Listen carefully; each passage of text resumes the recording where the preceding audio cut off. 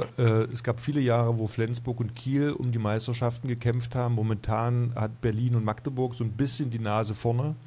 Äh, was sind die Zielsetzungen für die nächsten Jahre der SG Flensburg-Handewitt? Ja, also ein großes Ziel von uns ist natürlich, äh, äh, wieder zurück in die Champions League zu kommen. Äh, ich glaube schon, dass wir so den Kader dafür zusammengestellt haben, äh, auch schon diese Saison äh, mit fünf neuen Spielern, neuen Trainer. Das braucht natürlich eine Zeit, das hat, hat man gesehen, gerade in der Hinrunde.